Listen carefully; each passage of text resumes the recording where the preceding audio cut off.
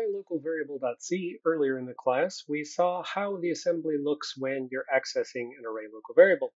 In ArrayLocalVariable2.c, we're going to add some zeroization to an initialization of an array.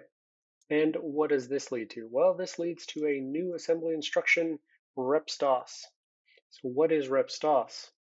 This is the repeat store string. Now this is actually the stos instruction, which is a stored a string with the rep instruction prefix in front of it. So the rep prefix means let's do a stos over and over and over and over again. So any assembly instruction which supports the rep prefix, which is not all of them, just a small subset, when it tries to do the stos assembly instruction, it's going to do it cx number of times. So CX, meaning CX in 16-bit, ECX in 32-bit, or RCX in 64-bit, is used as a counter to basically say, I want to do a stos operation CX number of times. Each time the operation is done, CX is decremented by 1, and when CX finally equals 0, then this stos operation stops and it moves on to the next assembly instruction. In this case, it either stores 1, 2, 4, or 8 bytes at a time, to a destination. So this DI register, so there's one form that takes only a single byte and stores it at DI. That's more for 16-bit form. We don't care as much about that.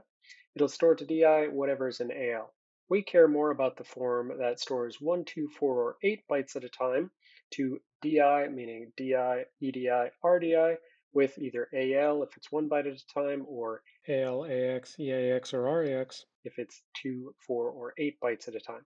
So it's basically going to take the value from this register, let's say it's RAX, and it's going to copy it to RDI.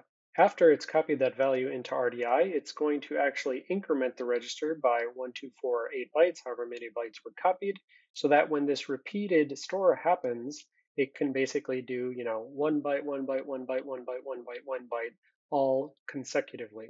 So the net result is that a repstos instruction is effectively a memset in a box, except that there's some setup that has to occur first.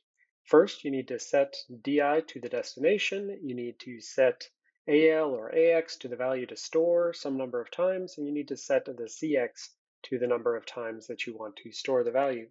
So I was just talking in generalities about the different forms for different 16, 32, 64-bit modes.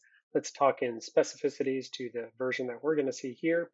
So basically, it is going to store 1, 2, 4, or 8 bytes at a time to RDI, so the memory pointed to by RDI, with a value from AL, AX, EAX, or RAX based on whether it's 1, 2, 4, or 8 bytes that's being copied. And then it will increment RDI by 1, 2, 4, 8 bytes based on the number of bytes that's being copied at a time. But just as a reminder, this assembly instruction has baked into it a store to the memory pointed to by RDI. RDI is a callee save register, so this is going to mean there's probably going to be some need to save and restore RDI before the repstos assembly instruction uses it. All right, with all that said, now it is time for you to step through the assembly and make sure you understand all the various components that are being used in it.